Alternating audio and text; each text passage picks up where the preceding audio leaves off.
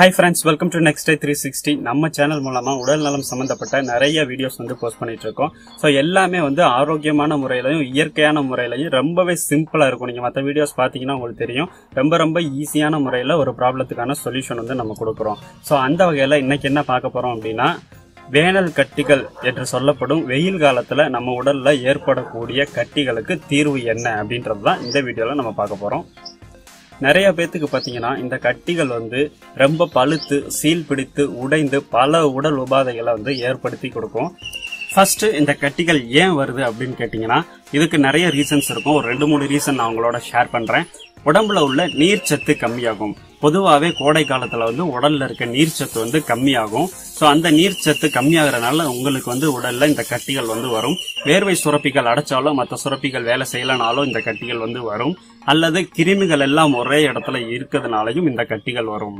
So இந்த கட்டிகள் சில பேத்துக்கு வந்து கண்ணில் இந்த இமைகளுக்கு நடுவில் கண்ணை மறைக்கிற மாதிரி சில நாட்கள் வந்து தொந்தரவு செய்யும். சில பேத்துக்கு வந்து கன்னத்தில் வரும். சில பேத்துக்கு உட்கார இடத்துல பின்னாடி பின்பக்கம் வரும். அதனால அவங்களால உட்காந்து வேலை செய்ய முடியாது.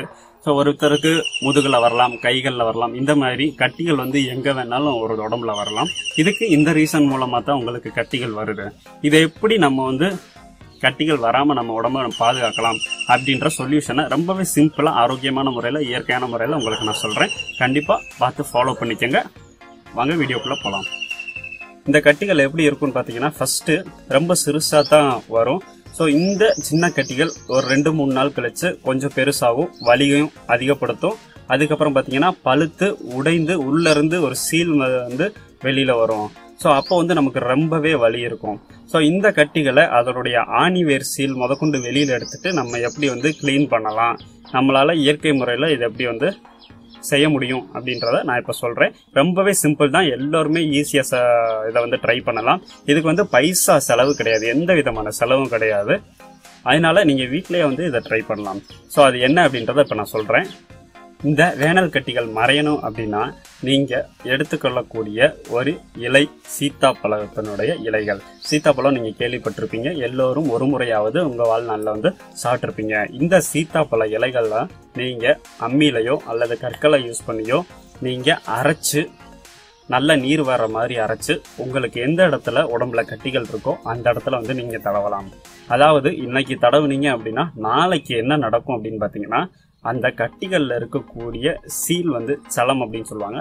ஸோ அது ஃபுல்லாமே வந்து வெளியேறிடும் ஆணி வேரில் இருக்கக்கூடிய அந்த சீல் முதற்கொண்டு எல்லாமே உங்களுக்கு வெளியேறி புண்ணு வந்து ஒரே நாளில் அமுங்கிடும் ஸோ அமுங்கி சரியாயிரும்.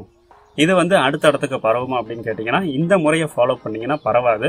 நீங்கள் வேறு மெத்தட்ஸ் எதுவும் யூஸ் பண்ணியிருந்தீங்க அப்படின்னா உங்களுக்கு வந்து அந்த ஆணி வேர் வராதவன் புண்ணு மட்டும் அமுங்குச்சுன்னா உங்களுக்கு அந்த ஆணி வேர் வந்து செலம் வந்து உள்ளுக்குள்ளேயே இருக்கும். ஸோ அந்த சீல் வந்து இன்னொரு இடத்துல உங்களுக்கு வந்து கட்டிகள் வர்றதுக்கு காரணம் அமையும். நீங்கள் நிறைய பேர் ஃபீல் பண்ணியிருப்பீங்க ஒரு இடத்துல கட்டி வந்து க்யூர் பண்ணிடுவீங்க ஏதோ ஒரு முறையை ஃபாலோ பண்ணி. ஸோ ஆனால் அது பார்த்தீங்கன்னா அந்த ஆணி வேர் வந்து வெளியில் வராதனால உங்களுக்கு இன்னொரு இடத்துல போயிட்டு திரும்பவும் ஒரு கட்டியை வந்து உருவாக்கி கொடுக்கும். திரும்பவும் அதே மாதிரி பாதிப்புக்கு நீங்கள் ஆளாவீங்க. ஸோ இதெல்லாம் தவிர்க்கணும் அப்படின்னா இந்த சீத்தாப்பழ இலைகள் வந்து ஒரு ரெண்டு மூணு எடுத்தா போதும். ரெண்டு மூணு வந்து அரைச்சு அதை எடுத்து எந்த இடத்துல கட்டி இருக்கோ உடம்புல தடவுனீங்கன்னா அடுத்த நாளே வந்து உங்களுக்கு கட்டி வந்து உடஞ்சு ஃபுல்லாக க்யூர் ஆயிரும். அடுத்து இந்த கட்டிகள் வராமல் இது கண்டிப்பாக பாதுகாக்கும். இதை நீங்கள் வீட்டில் ட்ரை பண்ணி பாருங்கள் எனக்கு வந்து இந்த விஷயம் எப்படி தெரியும் அப்படின்னா என்னோட ரிலேட்டிவ்ஸ் வந்து ஒருத்தவங்க என்கிட்ட சொன்னாங்க. நான் எங்கள் ஃபேமிலியில் யூஸ் பண்ணி பார்த்தேன். சூப்பராக ரிசல்ட் இருந்துச்சு. அதனால இந்த விஷயத்த நான் உங்களோட ஷேர் பண்ணணும் அப்படின்னு நினச்சேன். ஸோ இதை வந்து உங்கள் வீட்டில் நீங்கள் ட்ரை பண்ணுங்கள் மற்ற எதுவுமே நீங்கள் யூஸ் பண்ண வேணாம். வேனல் கட்டிகளுக்கு. இதை மட்டும் ட்ரை பண்ணுங்கள் அடுத்த நாள் உங்களுக்கு வந்து ரிசல்ட் அருமையாக இருக்கும். ஸோ நீங்களும் எனக்கு கமெண்ட் பண்ணுவீங்க. இது வந்து அருமையாக கேட்குது அப்படின்னு. நீங்கள் இதை வீட்டில் ட்ரை பண்ணிவிட்டு உங்களோட ஃபீட்பேக்ஸை எனக்கு கமெண்ட்ஸ் மூலமாக சொல்லுங்கள் வீடியோ பிடிச்சிருந்துச்சுன்னா லைக் பண்ணுங்கள் இந்த தகவல் உங்களுக்கு ஃப்ரெண்ட்ஸுக்கு ரிலேட்டிவ்ஸ்க்கு யூஸ்ஃபுல்லாக இருக்கும்னு நினைச்சீங்கன்னா ஷேர் பண்ணுங்கள் சேனலை மறக்காமல் சப்ஸ்கிரைப் பண்ணுங்கள் மீண்டும் ஒரு நல்ல தகவலோட உங்களை அடுத்த வீடியோவில் சந்திக்கிறேன். நன்றி. மரம் வளர்ப்போம் மழை பெறுவோம் மண் வளத்தை காப்போம்.